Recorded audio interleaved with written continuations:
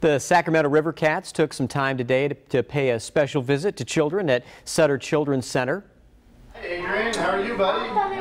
Good. What you playing on? So a couple of the players and Dinger, you saw Dinger, the mascot there, waving. Uh, they visited with some of the patients this morning. They also spent some time making hand puppets, drawing, taking pictures with some of the kids. The players say it's rewarding when they can give back to the community. That's the biggest thing for us is if you can make them smile, you know you've made a difference to make them forget about what they're going through for the day and uh, just kind of help bring some joy into their life a little bit. And this is part of the team's annual River Cats Caravan to Sutter Hospital. Good to see those players out doing that. You know, the kids loved it. They do, and a lot of those kids, you know, it's boring doing mm-hmm. the same thing day after day. So a visit like that can be a really big deal.